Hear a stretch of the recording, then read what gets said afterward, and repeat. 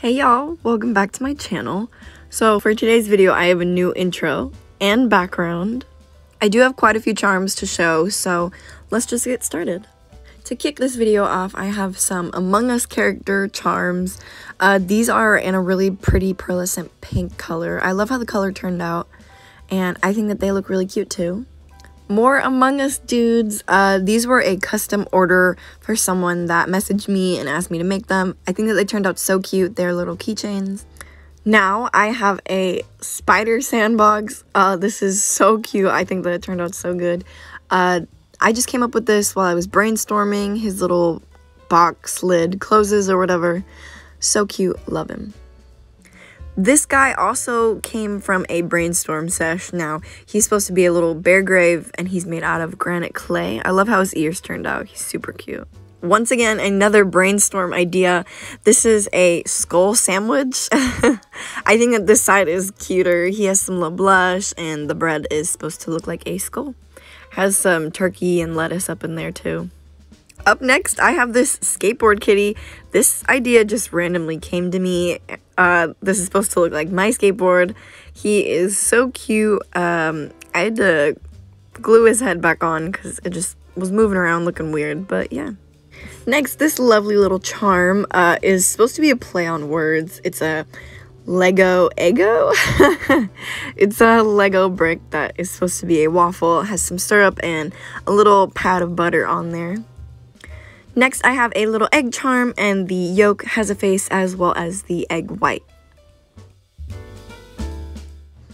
This guy is a mouse made out of cheese? A cheese mouse? Uh, I don't know. Uh, he has a little tail and a little black nose.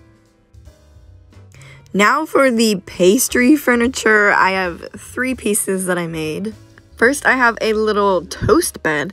Uh, there is jam on one side and peanut butter on the other side. I think that my charms look so cute glazed. Adds to them so much more. They look so much better.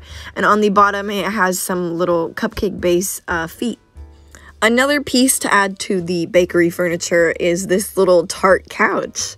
Blueberry tart couch. Uh, I think it's so cute. It doesn't really stay up. Also has the little uh, tart base feet. Next up to go with the couch, we have this little strawberry tart ottoman. Oh. Anyways, back to the regularly scheduled program.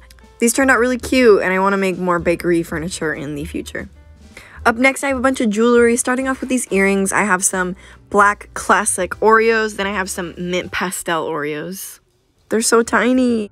Next for jewelry, I have an assortment of rings. Starting off with this one made out of clay uh, and a bunch of glitter and cane slices. I just really wanted an excuse to use all the different cane slices that I got, and it was also inspired by this ring on Instagram. Here's what it looks like on. Honestly, it's ugly. I don't like it.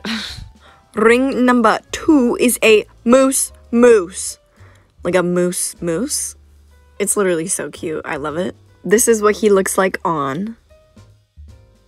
Ring number three, also a play on words. It is a strawberry. Literally so cute. I love this little dude. He looks adorable on. But enough with the dad jokes. Now we just have some normal, it's a bear ring, just a normal bear ring.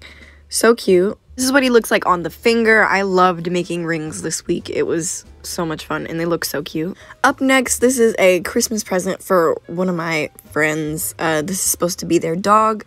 So cute. Uh, I think it turned out really good. And this is what it looks like on the finger. That is all of the clay charms that I have for this week.